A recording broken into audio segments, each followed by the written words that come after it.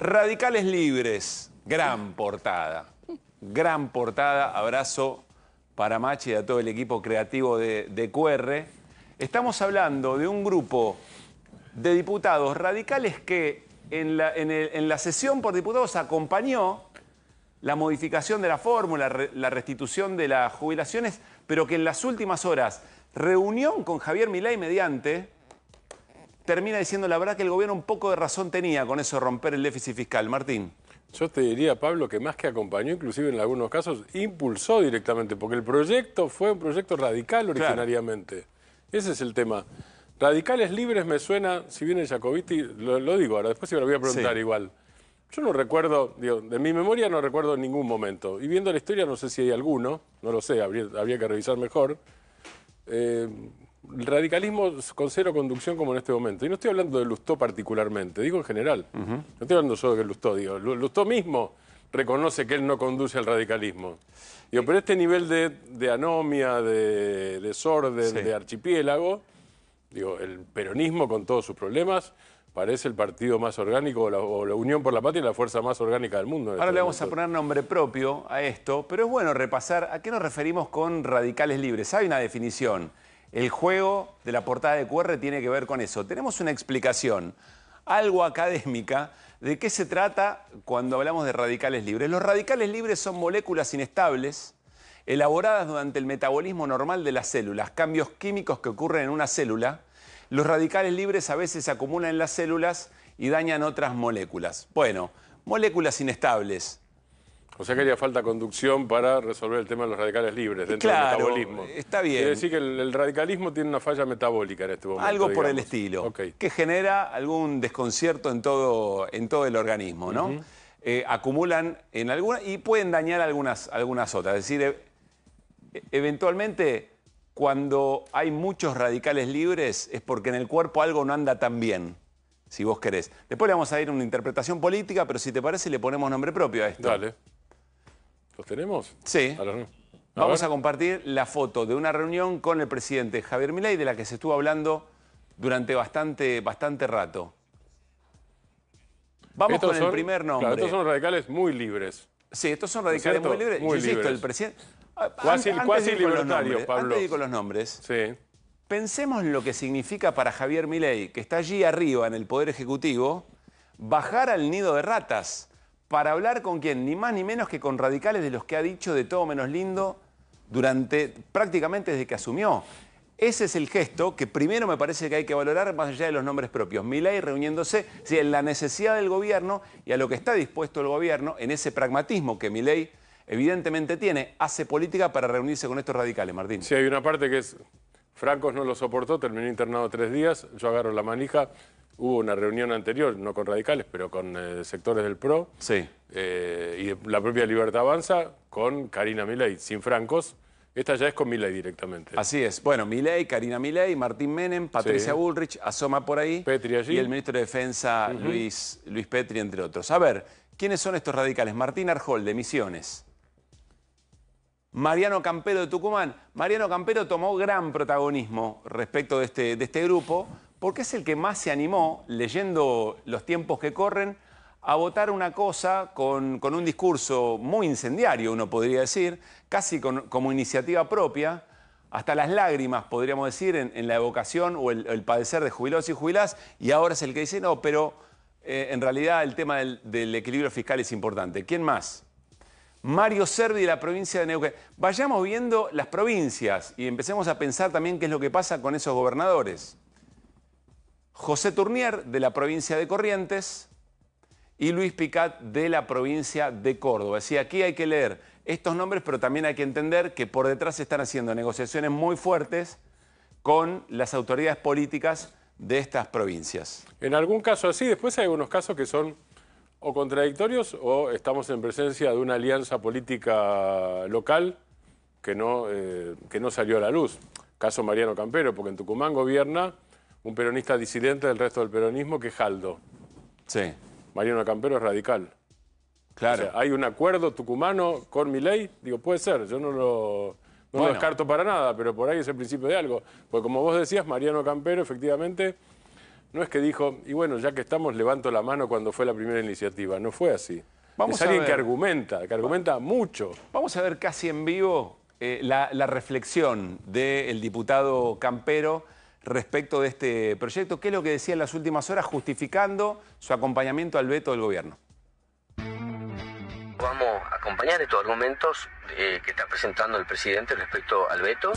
En el aeropuerto, camino a la sesión del miércoles. Me gustaría hacer un comentario. Por un lado, el gobierno traza un plan económico que tiene como principal objetivo bajar la inflación y generar equilibrio fiscal. En el Congreso, Unión por la Patria, el kirchnerismo, incluso también con algunos bloques dialoguistas, permanentemente con cuestiones muy nobles, muy nobles, como jubilaciones, universidades, pero que en el fondo tienen un objetivo escondido que es el de golpear el plan económico, moviendo uno o dos puntos de PBI, y la única forma que podría solucionarse es generando deuda o emitiendo. Y acá claramente, con acierto, con errores, el gobierno dijo, vamos al equilibrio fiscal, vamos a dejar de emitir y vamos a que un dólar no supere. ¿Quién calculaba que el dólar hoy iba a estar abajo de 1.300 pesos? El blue. Nosotros vamos a acompañar estos argumentos eh, que está presentando el presidente respecto al veto. Bueno, son reflexiones que a uno se le pueden dar. Vieron que cuando uno agarra la ruta y va manejando, gana otra perspectiva, nuevos aires. Manejaba otro además, ¿no? Así que estaba tranquilo. Eh, y aparece esa- esas reflexiones. Es muy llamativo, pues, los objetivos son nobles, realmente. Lo que pasa es que de fondo, de fondo no se les cree, ¿no? Porque por más que reclamen por jubilaciones y por universidades, de fondo están queriendo desestabilizar al gobierno. Volvemos a lo que decía también Hernán Lecher la semana pasada. Alternativas al financiamiento hay, pero son decisiones políticas que un gobierno legítimamente no quiere, no quiere tomar. Ahora, este campero, ¿era el mismo o no? Que hace muy pocos días, pocas semanas, argumentaba de esta manera que vamos a ver en el recinto a favor de la ley que salió y que el gobierno votó. A ver, vetó, perdón. Hoy nuestros jubilados no están llegando a fin de mes. Tienen que optar entre la compra de remedios o de comida. ¿Y cuántos argentinos y argentinas ayudan a sus padres o abuelos y abuelitas a llegar a fin de mes? Entonces, realmente es un honor que de este bloque haya surgido la idea de poner en la agenda nacional el sistema previsional. Porque hoy uno de los grandes desafíos que tenemos es honrar a las futuras generaciones, honrando a nuestros abuelos. Desde el inicio de la democracia hasta la fecha, el sector más atacado fue el sector previsional. Cada vez que un gobierno tuvo que dar un manotazo, fue al ANSES. Y hoy, aquí en este recinto, creo que estamos dando un gran paso en ese objetivo de poner a los jubilados en la valoración que corresponde. Es un bar esto, ¿no? Pocas veces vi una cosa así, porque normalmente uno ve este tipo, llamarlo contradicciones o cambio, no sé, o reflexionó, lo que fuere, en tiempos más largos. Esto tiene dos meses. 5 de Nada más que junio. dos meses, ¿eh? Esto que acabamos de ver en el recinto es del 5 de junio, ¿no? De hace cinco años. Bien, un poquito más entonces. tres. Un poquito más, exactamente. Claro, pero, pero es, el- es la misma persona que evidentemente estaba diciendo que tenía objetivos nobles.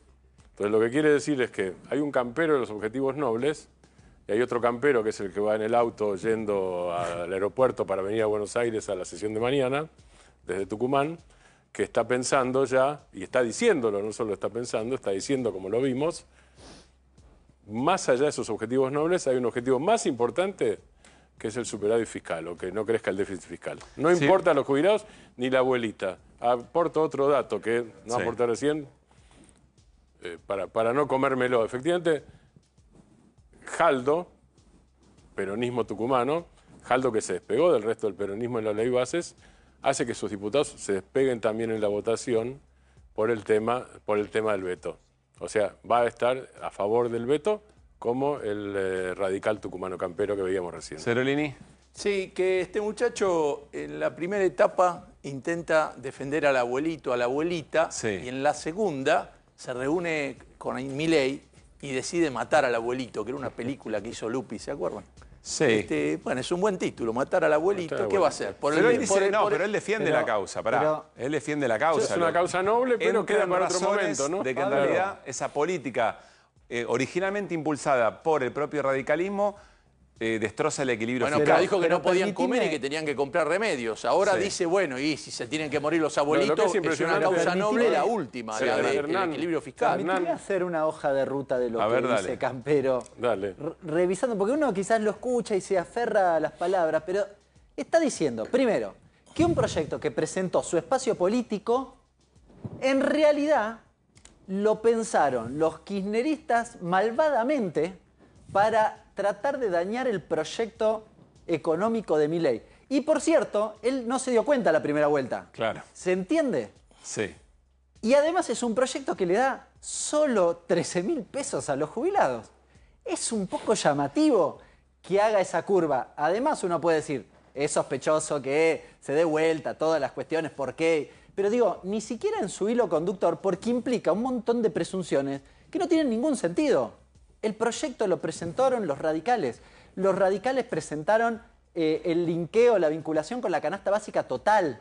Es decir, eh, el- el- los radicales presentaron la recomposición de los fondos previsionales para las provincias, discutido con los gobernadores. Si el proyecto lo hicieron ellos. Hernán, te hago una pregunta. Entre ese momento, entre el campero de la abuelita. Junio. Y el campero junio. El campero Sí. de junio que es el campero de la abuelita. Sí. Y el campero, vamos a retomarlo de Fer, el campero de matar a la abuelita. ¿Fiscalmente pasó algo eh, de manera estructural? Eh, bueno, en, ¿En dos junio, meses y pico? en, en junio tenía superávit, en septiembre ya no tenés superávit, pero en relación a los jubilados, sí, perdieron los jubilados, sobre todo por el congelamiento del bono. En ese periodo, a los jubilados les fue mal, les quitaron los medicamentos, perdieron en términos reales por la- el congelamiento del bono, así que siguieron aportando a la causa, si querés, original del superávit. Eh, muy interesante eh, dentro de todas estas ideas lo que plantea Hernán respecto del kirchnerismo que, que está en el argumento. Es decir, el kirchnerismo a quien todo el mundo da por muerto, bueno, la verdad que la derrota electoral, política y hasta si vos querés una enorme cantidad de sus, eh, de sus preceptos con derrotas culturales muy fuertes, es capaz de inducir a la Unión Cívica Radical a presentar un proyecto como propio, pero que en realidad esconde ese caballo de Troya. Es una especie de perfidia, ¿no? Es Claro, una especie es- de perfidia que sobrevuela, muy, así. es muy interesante en ese sentido. Bueno,